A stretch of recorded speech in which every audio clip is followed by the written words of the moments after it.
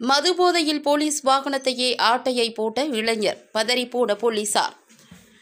திருப்பூர் தெற்கு போக்குவரத்து ஆய்வாளர் ஜீப்பினை மாநகராட்சி அலுவலகம் எதிரே உள்ள போக்குவரத்து கட்டுப்பாட்டு அறை முன்பு நிறுத்தி வைத்திருந்த நிலையில் மதுபோதையில் இளைஞர் ஒருவர் திருடிச் சென்றுள்ளார்.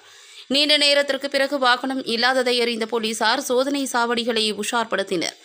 இந்நிலையில் போலீஸ் ஜீப்பை திருடிய இளைஞர் ஊத்துக்குளி சாலையில் எஸ்பெரியபாளையம் அருகே அதிவேகமாக சென்றுள்ளார். அப்போது எதிரே வந்த லாரியில் மோதி வாகனத்தை தலை தலைக்குப்பர கவிழ்த்தினார். இதில் அந்த மதுபோத இளைஞர் படுகாயமடைந்தார். உடனடியாக சம்பவ இடம் சென்ற போலீசார் இளைஞரை பிடித்து வாகனத்தை மீட்டுள்ளனர்.